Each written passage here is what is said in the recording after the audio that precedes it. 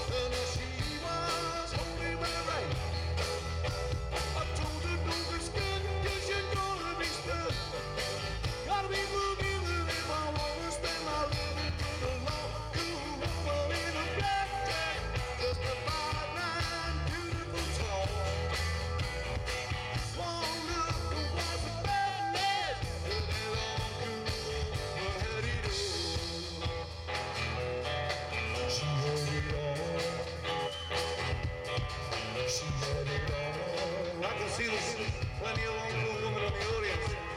and they're not all wearing black.